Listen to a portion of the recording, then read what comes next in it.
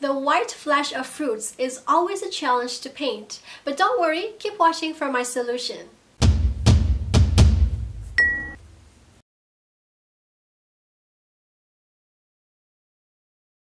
Hi, I'm Siti Nuriati from Siti Nuriati Studio. In this tutorial, I'll show you how I solve the challenging problem of painting the white flesh. So let's get started. When you really look at this photo, you will notice that the peach's core is the darkest value in the photo. So my rule is to start your coloring with the darkest value object first, the peach's core. Then color the medium value object, which in this case is the shadow. Finally, paint the lightest value object, the peach. This is the line drawing for the white peach. First, turn the paper over and shade the line drawing with an 8B pencil. By doing this, you create a copy of the peach. Now secure the drawing paper onto the shaded paper with masking tape. Turn it over and trace the line drawing. Once you're done, turn the paper over, remove the masking tape, and you'll see that the line drawing has transferred onto the paper. Before you start, it's best to erase the pencil marks from the paper surface with putty. To prevent the pencil lines from disappearing, I trace them lightly with colored pencils. I use chartreuse for the peach and mahogany red for the pit. Let's start the initial wash with carmine red. You should always start your coloring with very light pressure. Then add a second wash with burnt ochre, also with light pressure and using a vertical stroke. Now we're going to model the texture on the pit with mahogany red using medium pressure. Follow the reference photo when you do this part. Next, I'll layer Tuscan red to create depth in the center of the peach.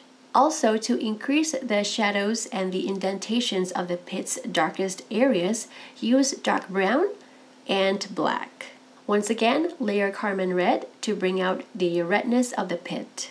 Before I begin with the shadow, I erase the pencil line slightly with putty. Then I start layering the first wash with French Gray 50% using light pressure. Next, for a second wash, layer with chocolate using light pressure.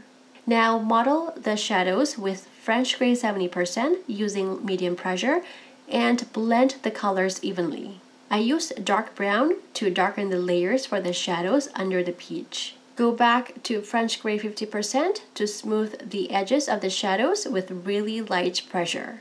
Now we're going to color the peach. First, wash it with cream using light pressure and a circular stroke. Layer the next wash using jasmine, leaving out the areas around the center of the peach as it's the lightest area on the fruit. I continue with chartreuse on the edges of the peach with really light pressure. I add hot pink and layer lightly around the pit, adding the traces of pink on the surfaces and the edges of the peach. I also define the edges by darkening them with burnt ochre and mahogany red. Layer the edges with chartreuse lightly once more to brighten up the flesh of the peach. Finally, I use black to increase the contrast. I darken the center of the peach, the shadows under it, and the pit. Here's the finished painting of the white peach. Get the free three-page booklet to start this painting today and let me know your results. Do you have questions about this tutorial? Post them in the comments below. I hope I've inspired you through this video. Share this video with your friends and subscribe to Siti Nuriati Studios blog. Let me help you unlock your creative side so you can start working towards becoming the artist you always dreamed of being. I'll see you next time and thank you so much for watching Siti Nuriati Studio.